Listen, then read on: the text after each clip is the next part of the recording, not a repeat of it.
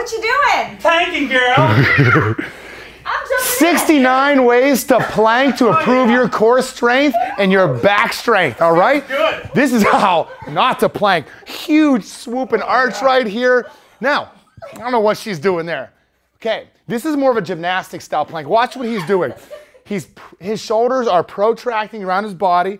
He's in a posterior tilt position and a hollow position. This is fine. The other way is more of a Pilates style neutral plank where her pelvic angle is neutral, her hips are high, her shoulder blades are pressed, and they're pulled downward just like that. Two ways to plank. Both of them are great. There's 67 other ways we didn't go over yet. So, till next time.